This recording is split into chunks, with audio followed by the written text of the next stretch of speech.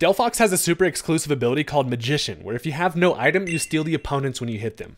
We can give Delphox the Power Herb, which allows you to use two turn moves in one turn, paired with Solar Beam for immediate huge damage and great coverage. Since we use up our item, we're able to just yoink the opponents off them, and with super solid speed at base 104 and 114 special attack, Delphox can actually be a monster.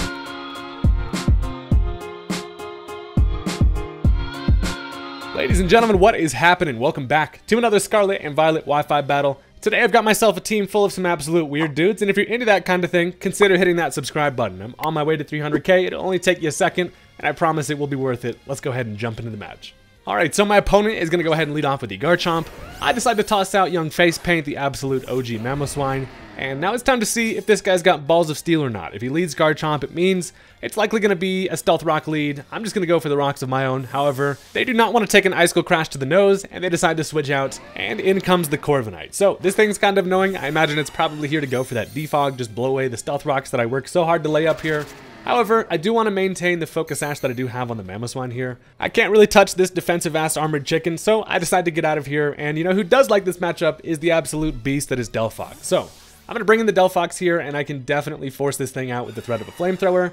Uh, in comes the absolute stick because I, I keep that stick on me and they do actually end up going for the body press here. So, of course, I do resist that, the fire psychic typing helping us out here, and I imagine the Corviknight does not want the smoke here. So I just decide to go for the flamethrower, my safest option. I would love to bait in the Quagsire and try to hit him with that uh, immediate solar beam, but they decide to go into the Garchomp instead. So what I could really use against this thing is some solid chip damage. My team doesn't deal with it that well, and it's just overall a problem. So I go for that flamethrower. It does not do much, of course, but I do actually get the burn, which that is actually amazing because a lot of the time Garchomp can set up, it has strong earthquakes, it could potentially be like Swords Dance Scale Shot, and this thing is essentially, it's always a problem. So getting the burn on there is super nice. And now I figure I have the defensive Tera uh, it's actually both offensive and defensive, right? I can go for that Grass Tera, which is going to allow me to take an Earthquake, especially with the burn extremely nicely. And it also gives us the stab for our Solar Beam. So I'm going to go ahead and just commit that Tera at this point. I figure either he predicts a switch and goes for Stealth Rocks and I can get up a free attack, uh, or I just take an Earthquake with no problem. So I stick the old flower on my head, and we are ready for action at this point. I'm just going to go for the Psyshock for as much damage as possible. We actually end up landing a critical hit, so the luck has been on our side at this point. We get both the burn and the crit here, so you feel a little bit bad, but they actually predict the switch and go for the Stealth Rock. So um, that just keeps us as healthy as possible here, and it's looking like one more Psyshock should be able to take care of this thing.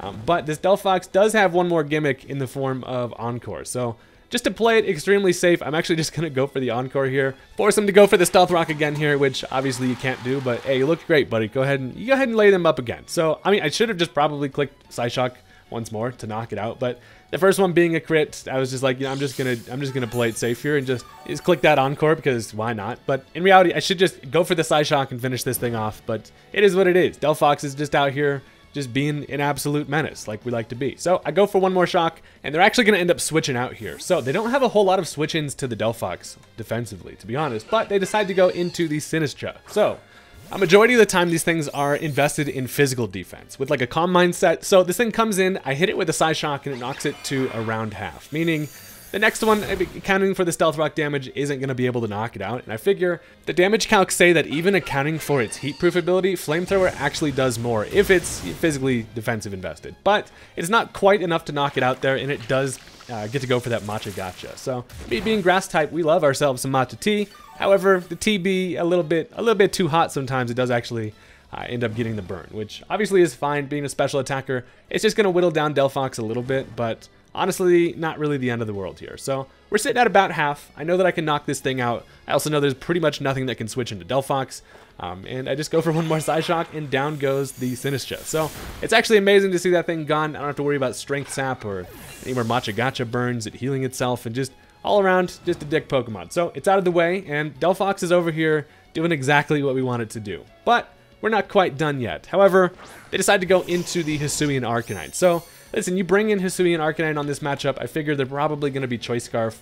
Uh, I also don't have anything guaranteed to knock it out, so I feel like, you know what, now's a good time to bring in the Lumineon. Yes, I'm literally using the fish that no one's ever used before because I like this thing. Game Freak needs to buff it, and I figured it's actually pretty decent special defensive uh, set here. But he goes for the Extreme Speed, which tells me it is not going to be Choice Scarf, and I take around half from that. So I'm actually just going to go for the U-turn, expecting them to potentially switch, and they actually do. So I can grab myself a nice little pivot here, Lumineon looking majestic as ever, and they decide to go into the Quagsire, which is an easy switch into Lumineon, of course.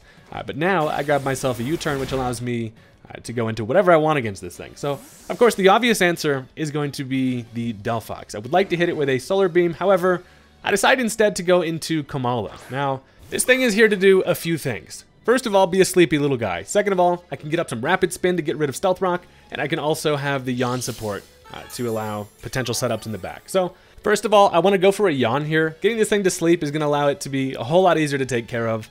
Uh, if Delphox can't do it, at least having it asleep, I can whittle it down. So I do go for that Yawn, and this Quagsire is going to end up actually being a Curse set. So gives himself a nice little attack and defense boost, and the Quagsire can get out of hand quickly if they have uh, if you don't have a solid grass answer. Plus, with the option for them to Tera, it's just it can be a menace. So. It falling asleep next turn is amazing, and at this point, I do want to go for the Rapid Spin. Now, getting rid of the hazards is going to allow a couple different things, but mostly Mamoswine being able to switch in and still have his Focus Sash intact is going to be a great answer to things like their Arcanine. So I get that Rapid Spin up, say, screw you Stealth Rocks, and the Quagsire is just going to go right for an Earthquake here. We are able to take one of them even after the boost, which is nice, but more importantly, Quagsire is now going to fall asleep. And falling asleep on an off turn means that I can basically, I can hard switch in and they have a guaranteed turn of sleep. So now seems like a pretty good time to bring back in the Delphox. A figure, this thing has been popping off. It has a great matchup against their squad. There's really not a lot that can switch into it. So we bring back in the old Flower Fox and hit him with the stick. So of course my main goal here is to just go for that nice little stab boosted solar beam which should easily knock this thing out. Um, we can go for it in one turn of course because we have that power herb item and it's extremely important for Delphox to actually get rid of its item so then we can do some magician stuff and literally steal there. So I do go for the solar beam, they decide to stay in here and this poor little fella is about to get his ass beamed into next Thursday. So of course two turn move is going to be one turn because of that power herb and we absolutely blast him with the old laser. Um, so could not be a more perfect Pokemon to showcase the old Solar Beam uh, Delphox capabilities, but also, since we used our item, we are able to actually steal theirs. So Magician gives us a Sitrus Berry, and at the range we're at, we're actually able to eat it immediately, uh, which brings us a little bit of extra health. So we just absolutely bully the shit out of that Quagsire. Not only knock his ass out, but we also eat his lunch. So Magician is amazing and still going to be intact because now the next time I touch something, I'll also steal their item considering I used uh, the Sitrus Berry. So we've used two items so far, and Delphox is doing exactly what it's here to do, and now they're just going to go back into the Arcanine. So I figure I'm actually just going to switch back into Komala here. This thing doesn't do a whole lot for me.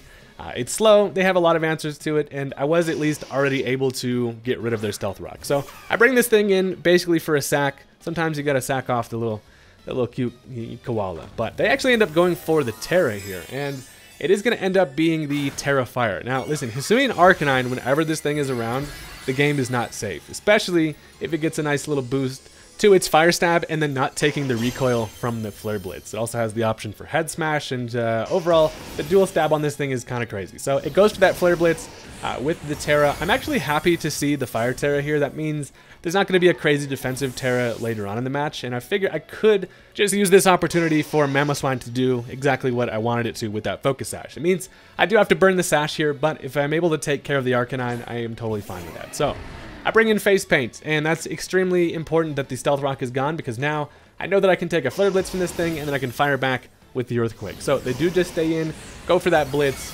and obviously obliterate my ass. But the Focus Sash comes in clutch here, and then there's no way in hell you're going to be living that Earthquake. So, down goes the Arcanine, probably the main Pokemon we are afraid of here. It's looking like we're in pretty good shape, but there's definitely some work to do. They have three Pokemon left at this point, and one of them being uh, something that is really annoying, and that is going to be the Alolan Ninetales. So, uh, on the free switch, they actually do decide to bring in the Ninetales here. Now, most of the time, this thing is here to set up the Aurora Veil, uh, which obviously gives them a reflect and a light screen, but it comes in, it takes a little bit of Stealth Rock chip, and I figure they're probably going to go for that Aurora Veil here, so I just want to get as much chip as possible on this thing, and I'm going to go for the Earthquake.